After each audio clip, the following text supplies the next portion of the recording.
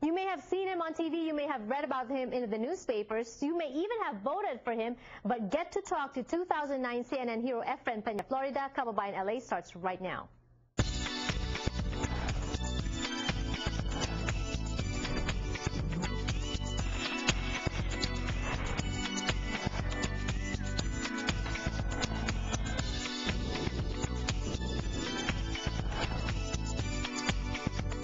Advance happy Thanksgiving, everyone. We have a lot to be thankful for. We have to adopt this attitude of gratitude. At ngayong hapon sa Kababayan LA, we're going to be doing that Talk Tuesday today on the show. But on Thursday, unfortunately, Thanksgiving, we won't have a show. Kaya mawawalan po tayo dapat ng Hollywood buzz sa ating Nepales reports. Don't worry, because we have that right about now. Let's talk Hollywood with the Nepales reports.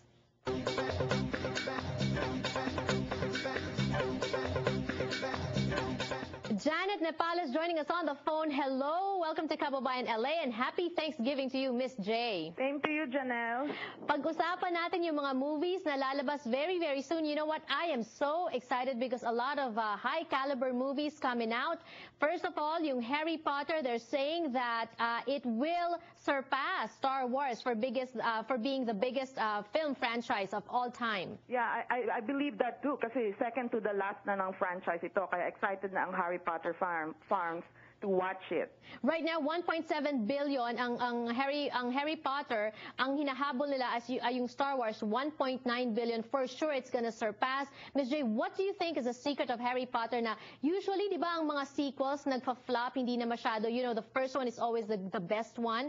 Pero ito parang it keeps sustaining. Minsan it, it keeps even getting better. Yeah, because ito yung naging parang cult na rin ito sa mga bata. Excited na sila how these children are growing up also amongst themselves. Kaya excited din sila to see how they're growing in the movie. Ikaw ba naabutan mo ba yung ano, yung Star Wars at ikaw ba ay Star Wars uh, uh, fan din? Kasi you know what, honestly ako hindi ko hindi ako nagfa-follow ng Star Wars. Hindi ako masyado nagpa-follow din.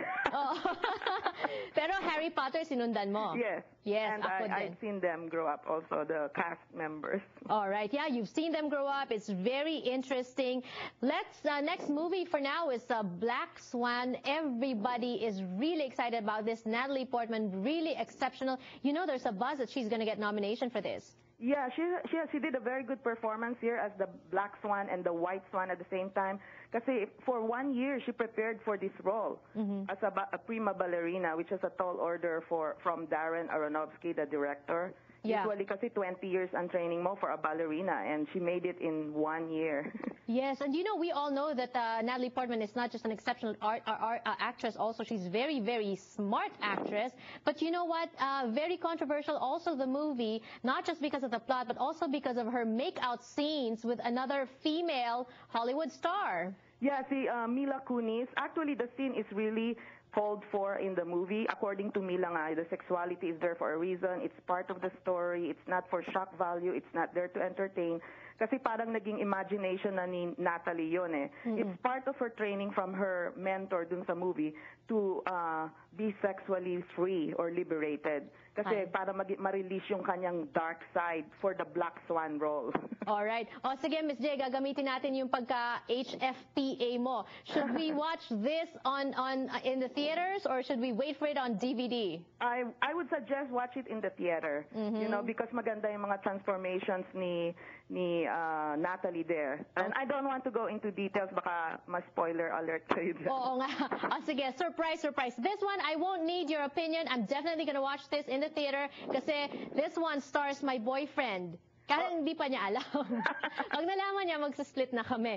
Jake Gyllenhaal and um, Anne Hathaway, Love and Other Drugs. Can you tell us about this movie? Yeah, see, Jake Gyllenhaal here is a, like a Viagra salesman. It's based on a true story. And then he is courting uh, Anne Hathaway, who is an artist.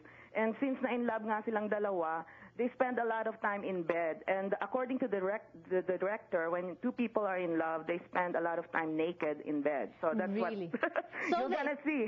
So in the movie, 65% of the movie, they were both naked at pinasampulan tayo at his very, very nicely done cover on Entertainment Weekly. Yes, uh, in fact, tatlong covers yan, na iba-ibang shots. They couldn't throw away any of these lovely, fabulous uh, covers. So they they put out three different covers that they were naked. And according to Jake, they were always very comfortable with each other. Parang because of their musicality and rhythm daw, parang they're dancing all the time, sila ni Anne. Right. And this is the second time that they're doing uh, makeout scenes together in a movie because the first time was Brokeback Mountain. Do you think that contributed to them being comfortable with each other this time around? Yes, um, very comfortable na nga sila. They had experience before, but now they said it, they become deeper. In fact, silang tatlo, the director, Jake, and Anne, became so close to this movie. Kasi pati yung mga sexual positions na gusto nilang pag-usapan, ini-incorporate sa movie. Hala, Miss J, sexual positions lang pinag-uusapan natin. But they're not together. no, they're not together. They both have their own uh, partners. Hala, so may partner na si Jake? Ah, potential pa lang. Ah, potential pa lang. Pwede pa ako. You know, you have to introduce Senior. me to him. Anyways, thank you so much, Miss J. Abangan namin ang column mo sa Manila Bulletin and also on Philippine News. Thank you. And happy Thanksgiving to you. Same to you, Janelle. More power. That was Janet Nepales, our kababayan in the Hollywood Foreign Press Association. When we return on the show, eto na po talaga. CNN hero Efren Florida is joining us. And the best thing about this is you get to talk to him. Don't go away.